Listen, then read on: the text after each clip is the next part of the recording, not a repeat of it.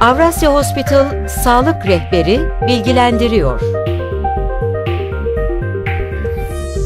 Hiçbir şey insan ve sağlık kadar önemli değildir. Vajinal akıntı e, nedir? E, en çok hangi noktada tedavi aşamasıyla e, karşı karşıya gelmesi gerekiyor kişilerin? Vajinal akıntı e, hayatımızın olmazsa olmazı.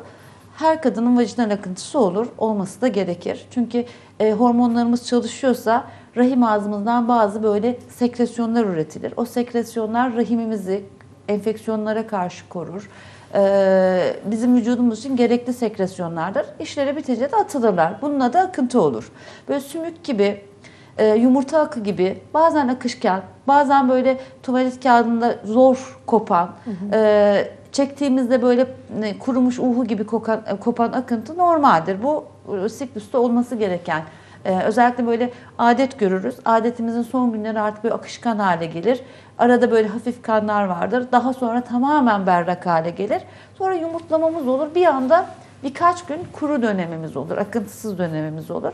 Sonra yavaş yavaş tekrar e, yavaş yavaş akışkan hale gelir akıntımız ve ondan sonra tekrar adet görürüz. Bu normal.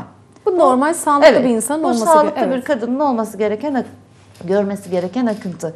Bir de buna koku eklenirse, en e, kötü koku özellikle, kızarıklık eklenirse, e, idrar yaparken yanma olursa ya da kaşıntı olursa, peynirimsi böyle kesik yumurta e, pardon, e, lor peyniri gibi akıntı olursa bu anormal akıntıdır ve tedavi olması gerekir. Peki tedavi aşamasında size başvurdu ve teşhisi konuldu.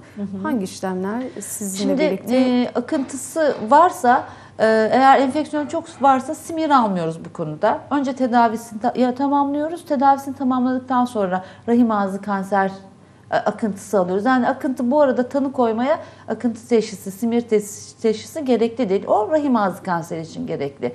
E, kültür de gerekli değil. Gözle görerek daha çok biz e, tedavi e, tanımızı koyabiliyoruz. Çok e, göremediğimiz, anlayamadığımız, tanı koyamadığımız vakalarda bazen rahim akıntısından kültür yapabiliyoruz.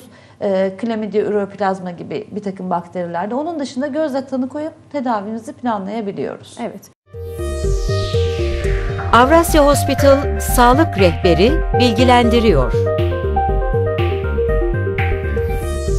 Hiçbir şey insan ve sağlık kadar önemli değildir.